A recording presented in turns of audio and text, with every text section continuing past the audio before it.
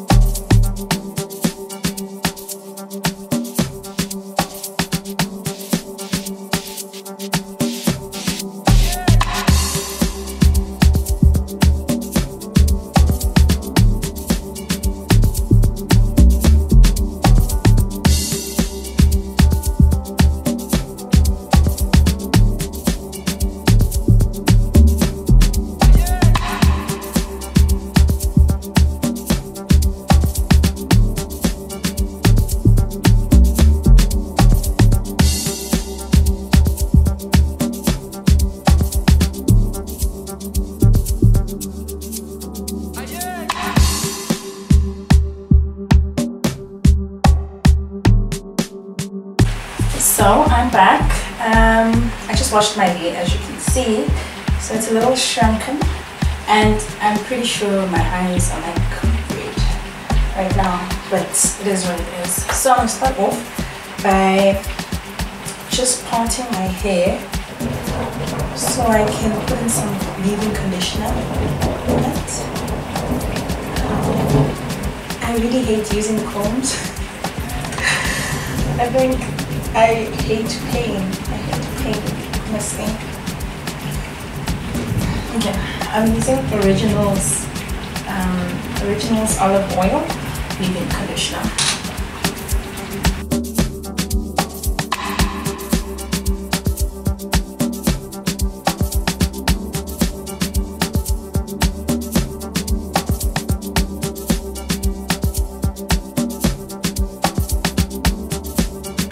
What I'm going to do is I'm going to tie one side of my hair um, and just then do everything on one side so I can just show you what I'm doing.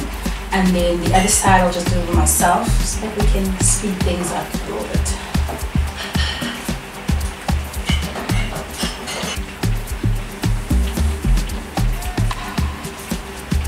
Okay, so this is the side that I'll be working with right over so now I haven't detangled my hair in a very long time. Very, very long time. So um, there's little hair particles or little hair that has broken off all over the place. So before I before I plait it, I will then detangle quickly by section and then plait it up. So next, I'm gonna put in, if you've watched, um, I think it was two weeks back, a week back, I made a homemade natural aloe vera hair oil, right? So this is aloe vera and coconut oil.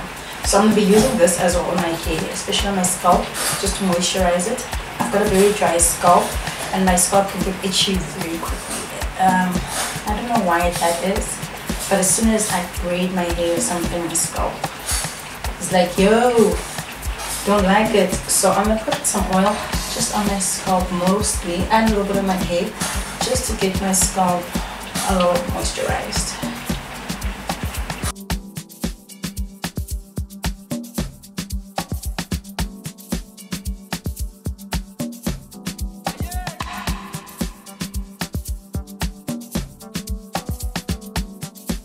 So now moving on, next product that I really, really love. I have such a thing for MPL oil. I don't know if it's because of that tingling sensation that it does to your scalp when you put it on. Oof. It just does something to me. You know, I think it's a psychological thing because I think when I feel that in my mind, it's like the product is working. And even though it's like two seconds, I'm like, yes, my hair is growing. And that might not even be the case, but either way, I really love MPL. Um, I put it on my hair every week. So, so what I'm gonna do with the MPL is that I'm gonna just section my hair and then apply it on my scalp. I think I prefer it mostly on my scalp because I like that feeling.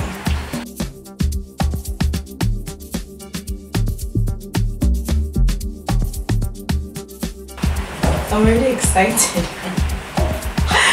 I love me some MPL oil.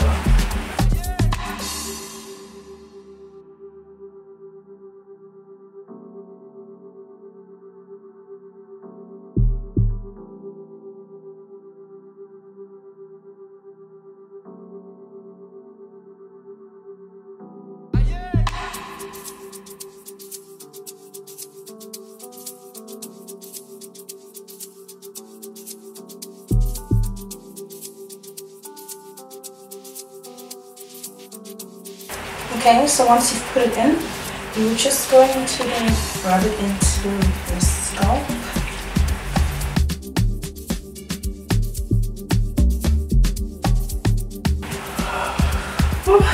feels good. So now we're gonna move on to the part of plaiting the hair. I don't blow dry my hair because I don't like, um, firstly it's really bad for your hair, damages heat, you know, and when you pull it, it breaks your hair. As you combing, your hair breaks. But also, I think one of the main reasons I am not a huge fan is because I don't like the pain. No pain. So, what I'll be doing is that I'll be plaiting my hair and then letting it air dry. That's simple. More work, I think, takes longer, but um, it's the best method for me. It preserves my hair and it's pain-free. Win-win. So what I'll be using is Dark and Lovely's Easy Styler Plaiting Pudding Cream. I haven't used it yet, so I actually don't know how this is going to work out. Let's find out. So what I'm going to do is I'm going to already start sectioning my hair the way I plan on plaiting it. After putting this on, I'll then just detangle it quickly Hmm. It smells really nice. It smells like watermelon.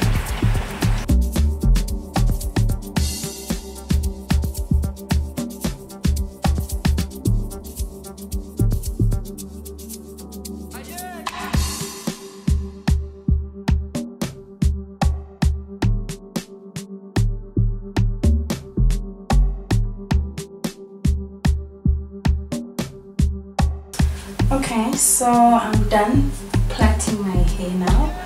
And what I'm gonna do then is put on a doek, right? Depending on... This is a very long process so if you're gonna try it out make sure that you have enough time like do it over the weekend or do it during a period where you know you don't have to go anywhere. Um, because damn it is long. Like I started shooting way earlier on and it's dark outside right now. So need to make sure that you have enough time. So I'll see you with the big reveal so this is my finished product. As you can see I laid my hair down. I used Soft n Free um, styling gel to do that.